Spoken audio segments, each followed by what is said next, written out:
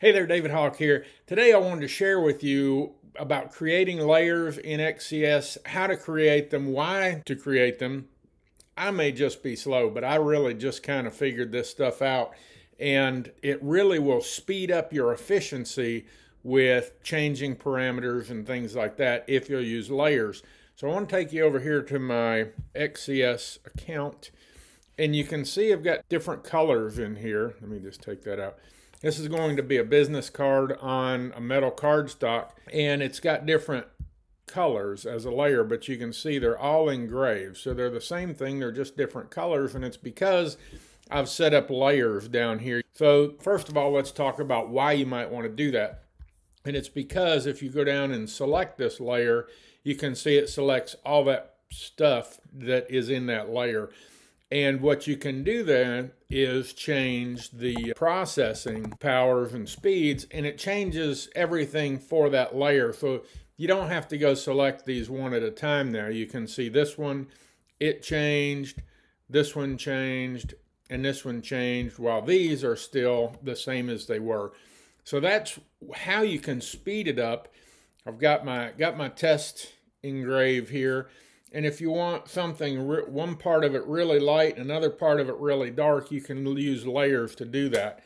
And in this card, I've got my name, and then personalized gifts and handcrafted in Chattanooga, Tennessee. And then, of course, the phone number and website are going to be a little bit different as far as the texture of it. And I am planning on making this a metal business card. I'm just using this. This is a piece of basswood and I wanted to use it just to show you the difference. And I'll run one of these test grids on the card too so that I can see different colors. And I'll show you that once we get it. So let's make a new layer out of this part here. And you just come down here and say move to.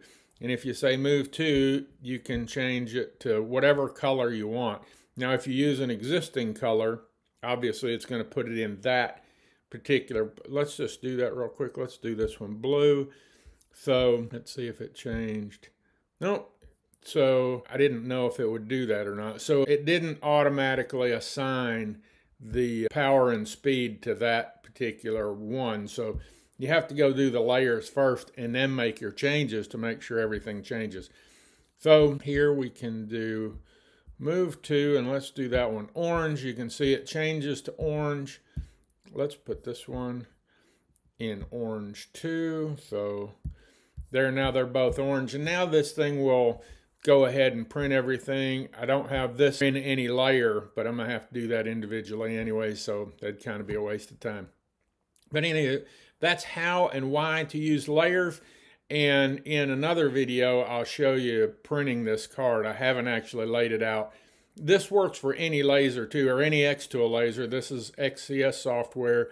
It'll work for any of the Xtool lasers. And it's just a great way to speed up your time and efficiency. So I wanted to share this video with you. I hope you got some uh, value out of this. If you did, hey, leave me a comment. I'd love to hear from you. Give me a like and a share. And I'll see you in the next video. Thanks for watching.